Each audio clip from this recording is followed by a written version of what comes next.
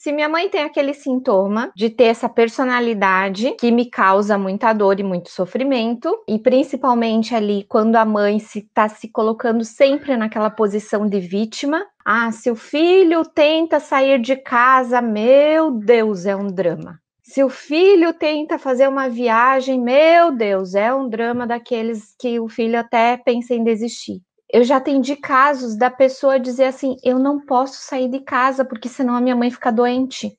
Eu não posso fazer tal coisa porque meu pai não deixa. Por trás de tudo isso, existem as carências, as desordens sistêmicas dos pais. E os filhos não são obrigados a carregar isso. Só que o que, que acontece? O filho quer romper com os pais.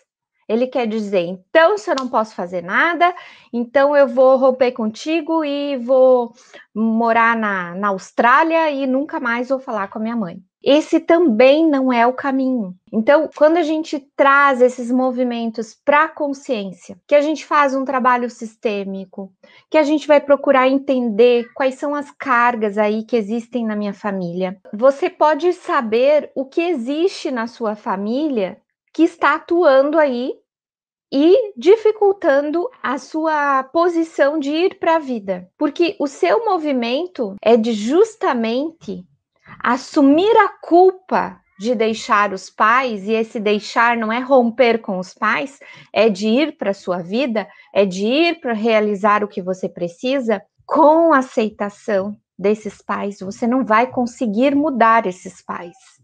Então, o melhor caminho é a aceitação. E a constelação nos ajuda muito nessa aceitação, porque esclarece algumas coisas, coloca algumas coisas em ordem.